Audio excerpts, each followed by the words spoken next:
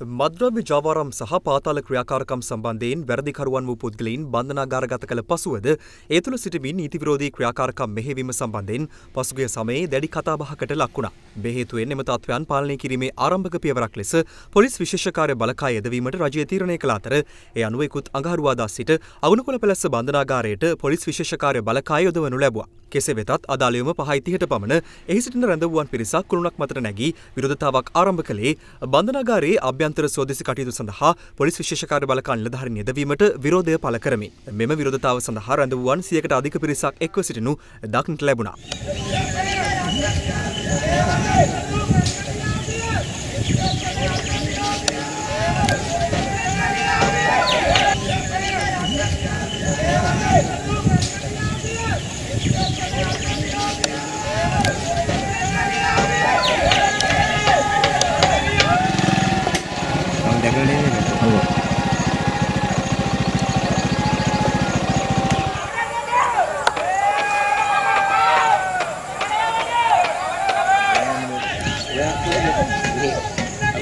අද දෙරන වාර්තාකරු සඳහන් කළේ ඔවුන් තවදුරටත් විරෝධතාවයෙන් නිරතව සිටින බවයි.